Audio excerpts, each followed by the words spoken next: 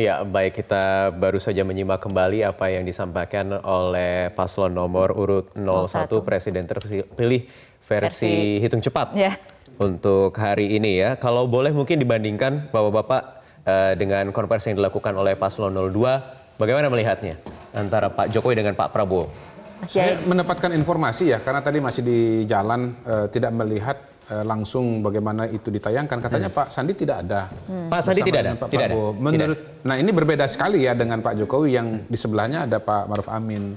Dan ini menimbulkan spekulasi bahwa ada perbedaan pendapat, perbedaan sikap hmm. antara Pak Prabowo dengan Pak Sandi menghadapi ya katakanlah hasil exit poll dan hasil quick count yang ditayangkan oleh televisi. Hmm. E, karena setahu saya e, di semua televisi kali ini tidak ada perbedaan hasil quick count yeah. ya.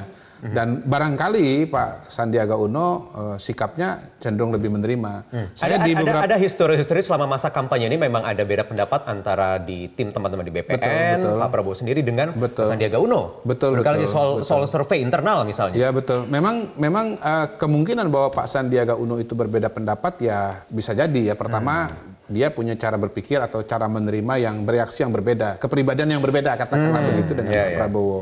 Yang kedua, barangkali Pak Sandi merasa dia punya masa depan politik yang masih sangat panjang ke depan mengingat usianya yang masih sangat ya. muda ya. sehingga barangkali dia berupaya untuk menunjukkan uh, pesan kepada publik juga kepada elit politik bahwa dia sebagai politisi muda itu bersikap rasional hmm. dan karena itu bisa diajak berbicara dan katakanlah ya diajak katakanlah berkomunikasi politik untuk ya. uh, peluang-peluang politik di masa yang akan datang. Hmm. Pada hari ini saya melihat walaupun pada awalnya Pak Sandi itu adalah kader Partai Gerindra dan wakil ketua umum Partai Gerindra tetapi dia sudah bertransformasi. Betul. Nama dia wajah dia itu dipakai juga oleh PKS dan oleh PAN. Ya. Dan saya menyambung dengan uh, Bang Jayadi, uh, pola temuan survei uh, Quick Count Barometer untuk pemilu legislatif juga hmm. sangat mirip ya. Pertama hmm. pemenangnya PDI Perjuangan, ya. kemudian posisi kedua, ketiga itu bersaing antara Gerindra dengan Partai Golkar, lalu di bawahnya itu bersaing antara PKB, kemudian Demokrat, PAN PKS. dan uh, uh, Nasdem. sorry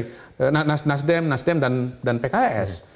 Nah, kita lihat selama masa kampanye wajah dan penampilan profil Sandi itu tampil di iklannya PKS dan yeah, PAN yeah. begitu. Sehingga ya barangkali ke depan itu bukan mustahil Sandi itu akan punya peluang untuk dapat dukungan politik minimal dari dua partai. Sehingga yang pada hari ini sudah dalam tanda kutip yeah. mendapatkan keuntungan, yeah, yeah. dibantu, diselamat, dibantu, dihantarkan, difasilitasi oleh Sandi efek Uno, hotel itu? efek hotel efek itu hotel. kepada PKS dan kepada hmm. Partai Amanat Nasional. Sehingga uh, mungkin bisa ditafsirkan dengan ketidakhadiran konferensi pers di rumah Betul, Men saya tidak sekali tidak sempat ya. Jalan, mungkin bisa jalan di, sendiri begitu. Mungkin bisa ditampilkan. Kita lihat yang berdiri di, di bersama dengan Pak Prabowo yeah. itu ada siapa saja, partai yeah, mana yeah. saja. Karena karena ini juga saya baru cek juga di media sosial di Twitter yeah. biasanya yang paling panas, Betul. Begitu, paling ribut ya. Ada pertanyaan-pertanyaan pertanyaan dari beberapa uh, netizen, Pak Sandiaga ke mana? Ya, dengan kata lain, jangan-jangan Pak Sandi sudah menerima hasil hmm. hmm. Mas Jaidi bagaimana? Uh, tapi ada pesan yang positif juga hmm. dari Pak Prabowo tadi, ya. Eh, meminta ya, pendukungnya ya. untuk tetap tenang, tetap tenang, hmm. meminta pendukungnya untuk tidak terprovokasi dan Betul. tidak melakukan hal-hal yang hmm. melawan hukum atau hmm. anarkis ya.